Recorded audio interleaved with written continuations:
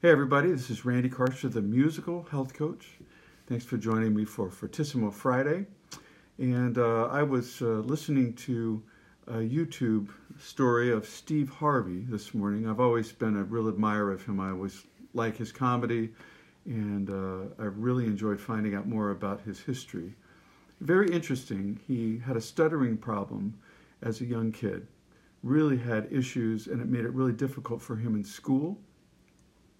Um, at one particular point, um, the teacher asked all the kids to write a story about what they wanted to do when they grow up. And um, the teacher actually, after they, all the kids turned theirs in, the teacher asked him to come up to the front of the classroom, and he was all excited because he thought that he was going to get a gold star. But instead, the teacher, not a great teacher, ridiculed him in front of the whole class and made fun of him and asked him questions like, "So, who in your family has been on TV?" Because what his goal was is to be able to be on TV. Who in your family has been on TV? So, what makes you think you can be on TV? You will never be on TV. Stuff like that. Can you imagine that to a young kid?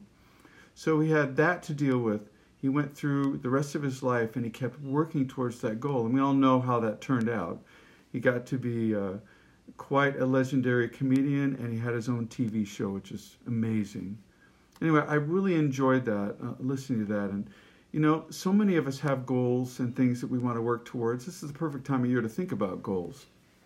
But here's what the sad truth is um, is that about 80% of people who make, you know, New Year's goals, by about the second week of February, they're not doing it anymore. They've sort of given up. So, what are some strategies on how to make a goal uh, for this new year and be able to stick with it?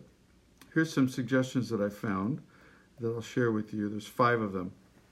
Make your goal extremely specific don't do something that don't say something to yourself about a goal that's just um, a general thing like you know getting in better shape okay that's a great goal but that's too general maybe something more like i want to lose 10 pounds in 30 days or uh, you know another goal might be that some people say i want to grow my business how about instead of just a general goal like that how about something like i want to add five new clients to my business in the next month anyway Make it more specific. It, it makes it a lot easier to attain.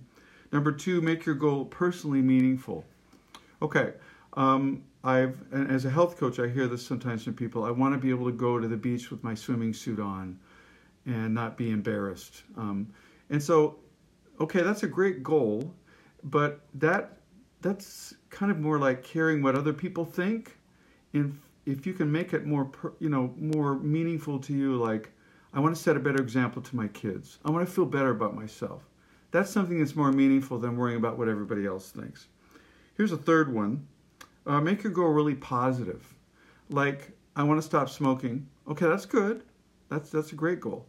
But the word stop is kind of a negative thing, so maybe make it, put a positive spin on that. I want to be able to hike with my kids and my grandkids and not have to stop and cough. I, you know, whatever that is. Or I want to be able to set a good example for my kids, whatever that is. Make it a positive. Put a positive spin on that. It's going to make it a lot better for you. Uh, number four, set your goal and then forget your goal. That's an interesting one, huh? Set your goal like you say you want to run a marathon. That's an awesome goal. Um, but instead of concentrating on that one, it can get very discouraging because there's a lot of stuff that you might need to do in between from where you are to be able to get to that. So maybe set a goal of running a, a mile and then add another mile See, just small little increments along the way, where you still have the big goal in mind, but you're keeping in mind the little goals as well. And lastly, focus on the process. There's a lot of joy that comes in the process of reaching your goal. And again, if you can set small little goals that you can easily attain uh, along the way and work towards those, like maybe, maybe even daily goals. This is what I'm going to accomplish today. And even if you don't hit all those goals, you're going to be in a better place because you did some of those. So anyway, I hope that's brought some value to you. Um, it's the holiday season, and I wanted to share one of my favorite holiday songs. Um, it's not often performed. It's kind of hauntingly beautiful. Um, it's one of those where you have to kind of think about what it's saying a little bit, but the melody is so great. I just wanted to share it with you. And I have a piano vocal score that I did for a vocalist, so let's see if I can kind of adapt that with some melody for you. It's called I Wonder as I Wander.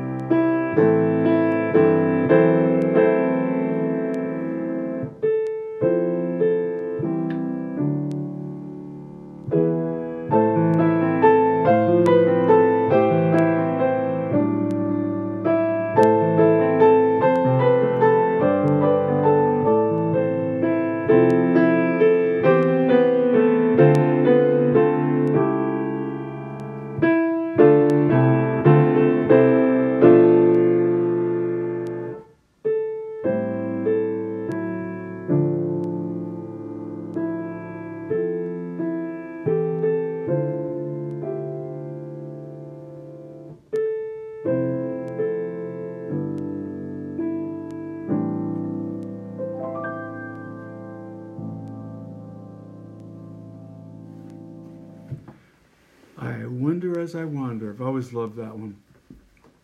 As we go into the new year, decide what you want to do, create a plan, and go after it.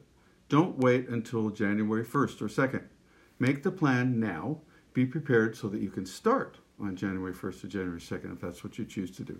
It's been Randy Kartchner, the musical health coach. Thanks for joining me for Fortissimo Friday. And make it a great day, make it a great weekend, and a great holiday season. It's always up to you.